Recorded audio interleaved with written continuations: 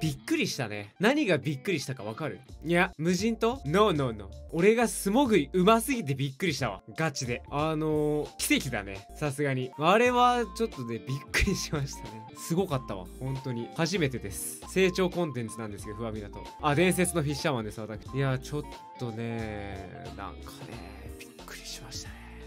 いやもうガチもガチよ。全てガチもガチよ。体鍛えててよかった。脱げる体でよかった。裸になれる体にしといてよかったわ。まあなかなかすごかったね。いや俺ねガチでうまかった。本当に。感動したもん。俺うまくて。驚いた声ましちゃった。びっくりしてただろうな。と取れるって多分思ってなかっただろうな。多分。多分思ってなかったんだろう。俺も思ってなかった。むずすぎて。途中でねコツ掴んだわ。フルチンで潜ったん。そこはもうご想像にお任せしますね。僕からはちょっと性質物すぎて触れれないですね。はいいやいやもう何なんですかとこんないきなり連れてかれまして。どう説明したらいいかわかんねえよ俺だって。どう説明するんだよみんな。逆に。意味わかんねえよ VTuber4 人で無人島行くの。俺が一番聞きてえよ。みんなが一番聞きたいかもしんないけど俺だって意味わかんないもん。ただ完成した映像見ておもろかった他の人の視点おもろかった。あの社長が夢は諦め諦めなければ夢は叶うっつって階段の火起こし破壊してんのめっちゃおもろかった。何どこに向かおうとしてるんだろうね。二次三次さんは。挑戦してるよね。挑戦することってすごく怖い部分難しい部分があると思うんですけどすごい挑戦してるなと思いましたね。間接的に俺も挑戦させられてますよね。気がつけば。ただなんか本当にすごい経験をさせていただけてるのかなって思いましたね。斜め上ね。まあ確かまあ斜め上のチャレンジしてもまあまあええやろってメンツかもしれませんね。出しとくか画像あるから。えっと明日また21時からあるんですけどサムネっすね。俺の高級魚どれですかね。まあまあまあまあまあまあ。まあこれもあのツイッターで今出てるサムネなんではい。まあそんな感じでねあの連れてかれてね。ああと僕がツイートした思い出の画像を載せておきます。マジで海綺麗だったわ。本当に。本当に綺麗だった。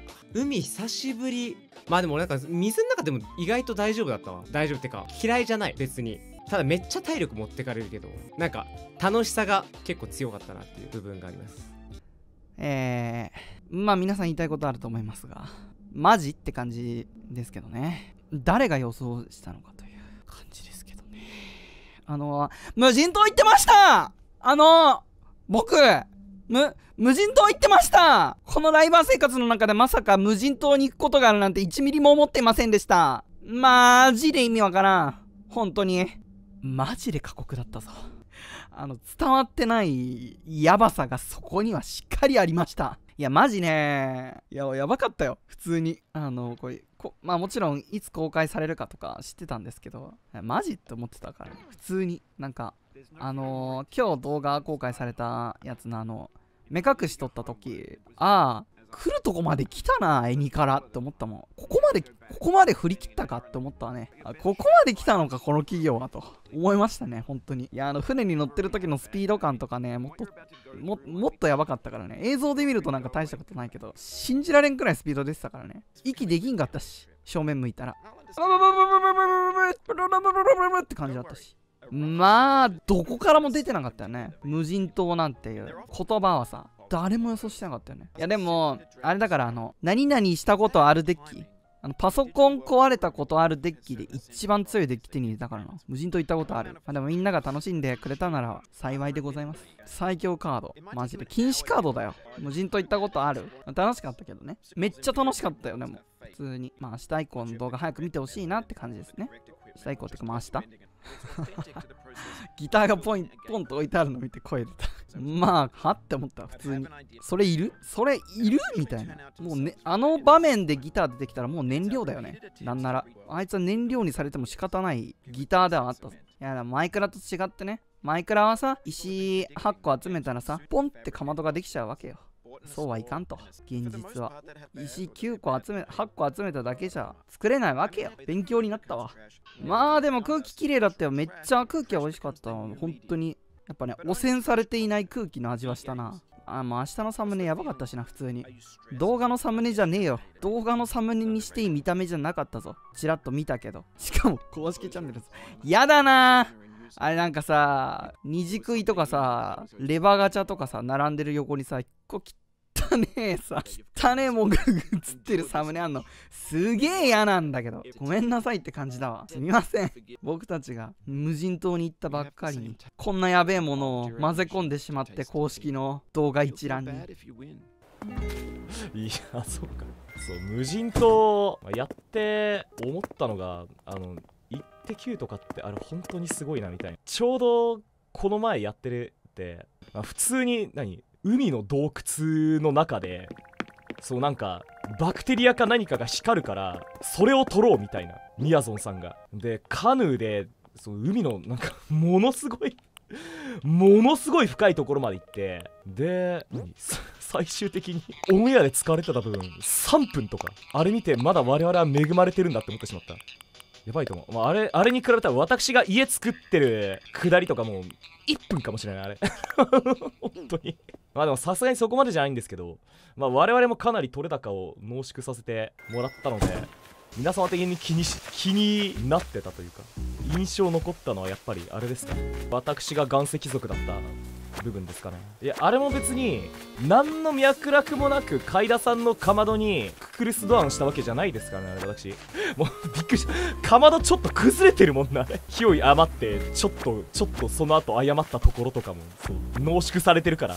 いやあれはあのーサバイバル動画とか見られた方だったらなんとなくわかるかもしれないんですけど、まあ、やっぱりその起点になるというかある程度元になる石を元になる大きい石をまあある程度集めてから積んでいくみたいな。まあ別にそこそこの大きさのでも全然作れるんですけど。なんか海田さんがなんか大きい石を持とうとすると2秒で諦めるんですよね。落ちてる石をなんか選定する能力 いらないんだけど別に。いらないんだけど別にそその能力鏡さんこれ取れないです。ちょっと掘ってみてくださいって言って当然スコップなんて何もないからそこら辺の平べったい石で砂わーってかき出してあこれ確かに。確かにいやこれでかいなみたいな。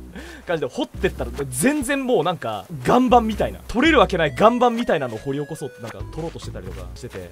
で、まあ、私が見つけたそのちょっと大きめで、まあ、埋まってる石いやこれだったらいけますよって言って。でこれだったらいけますよカズさんちょっと掘っとくんでこれ取りましょうよって言ってちょっと私が周囲を掘ってパスを出したら本当に手をかけて2秒ぐらいで海田さんが諦めてあこれダメだっつって社長これ無理です。みたいな。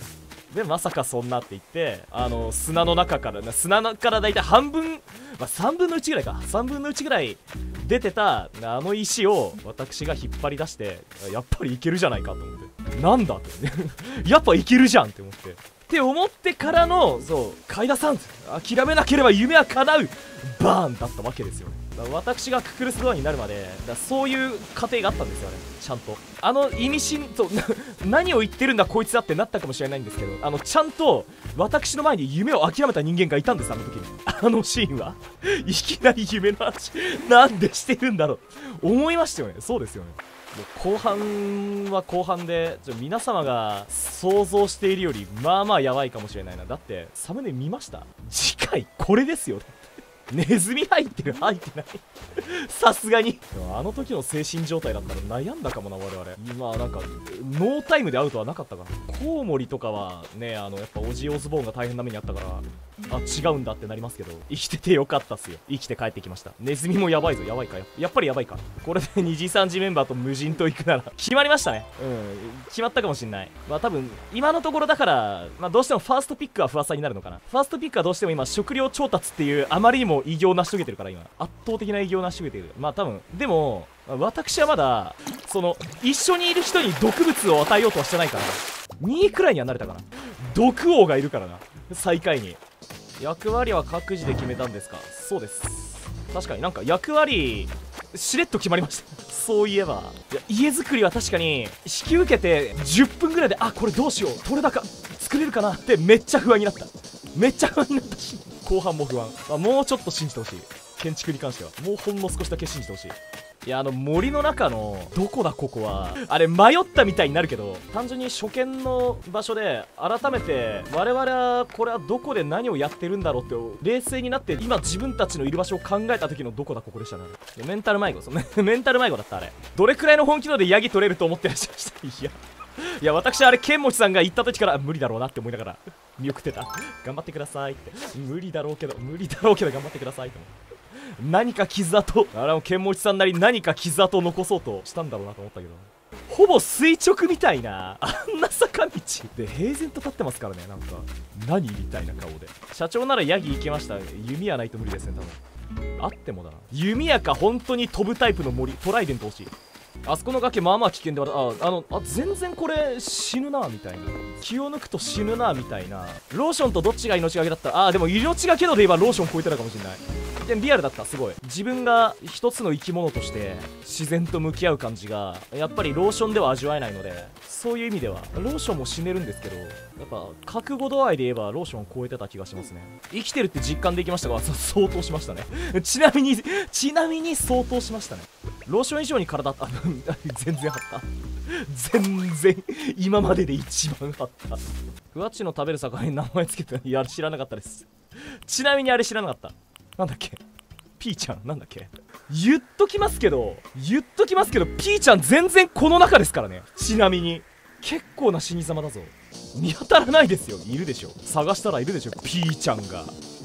あと本当に絵面上もあれだから映ってないと思いますけど今回のでかなり無視体制つきましたね。一回コンタクトを外してついさっきまで、まあ、波打ち際だった岩見たんですよ、まあ、普通になんか大地が処理落ちしてるなと思ったら全部船虫だったなあれ。びっくりしちゃった。なんか岩が処理落ちしてるぞ。テクスチャー？なんかテクスチャーあれしてるぞと思って船虫だった。全部。